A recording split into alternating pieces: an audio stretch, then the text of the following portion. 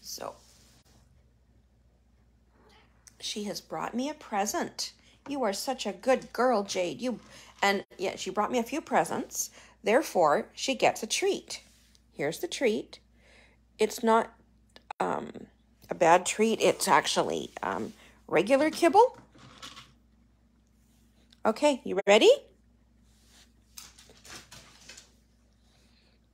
And she chases after it and is quite proud of herself. But yes, these are all the treats.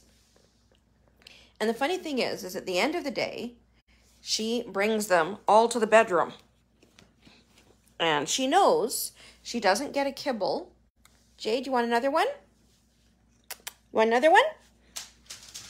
Because Mama dropped that one. Uh, she knows when she, at the end of the day, she, this is reversed, and she brings them all to me in bed.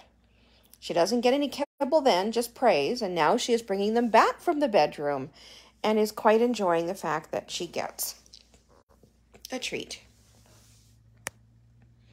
She is such a good girl, aren't you?